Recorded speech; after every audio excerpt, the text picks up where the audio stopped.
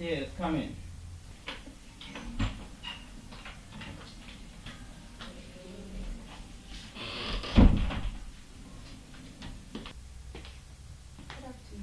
Good afternoon. How are you? I'm fine, thank you.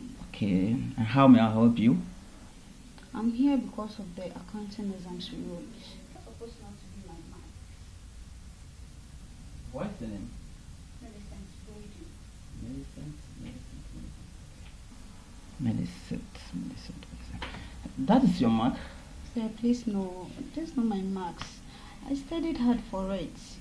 Okay, maybe your studying hard the whole night wasn't enough for what I'm seeing here. And that is your mark.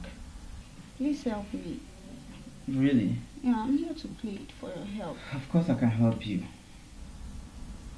You know, to have the kind of marks you're asking for, you need to pay a price for it. Oh, is it about money? Who is talking about money here? Then please what? You have to use what you have to get what you are asking for.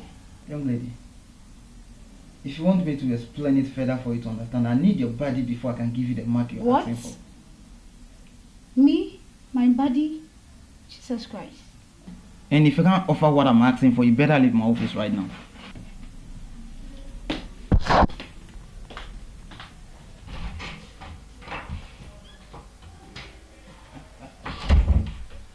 will surely come back. How long is it? About past number.